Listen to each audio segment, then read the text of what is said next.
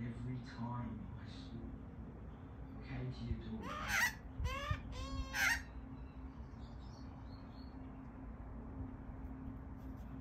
your door.